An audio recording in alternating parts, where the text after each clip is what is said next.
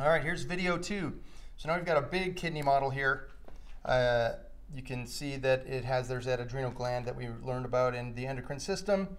There is a fibrous capsule, this outer layer, that's that really tight, uh, dense, irregular connective tissue capsule because the kidney blood pressure is really high. So it kind of, it's a big, it's a nice tight package. Then regionally, we've got uh, the cortex, which basically goes from the outside to this border right here. You can see these blood vessels would be normally all the way across like this. So cortex is external, then the medulla is inside of that. This is the medulla region. The uh, urine basically is formed by a combination of structures in the cortex and the medulla called nephrons. And so this, these little white squiggly things here represent nephrons. One nephron, as we'll see in a close-up later, consists of uh, a, a, ball of blood vessels, a little capsule, and then some tubes. And they can either, most of them exist kind of distant out here. They'll, you'll find the, the, these little corpuscles, that's what these little yellow things are. These corpuscles up mostly found out towards the extremities, but some of them are found really close to the medulla. So the ones that are that have the corpuscles starting out here in the middle of the cortex are called cortical nephrons.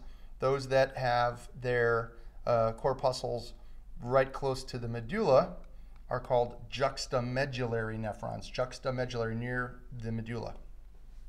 Uh, the urine is formed and uh, kind of funnels itself down into these uh, little openings here. These little these little funnels are called calyces. This is a calyx, C-A-L-Y-X, uh, plural calyces. These are minor calyces.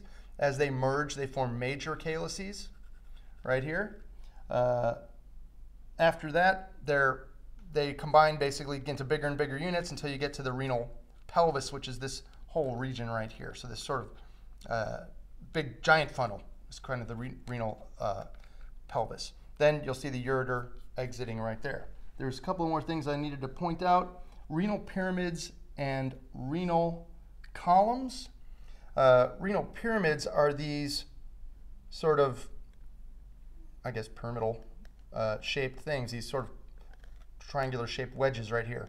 Um, that consists of a lot of the little collecting ducts. So the collecting ducts that are funneling all of this urine uh, down towards these calyces are, are evidenced by this, this sort of pattern. And in between them are these renal columns. So a renal column is this thing right here.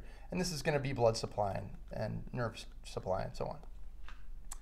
And uh, I think that's all I needed.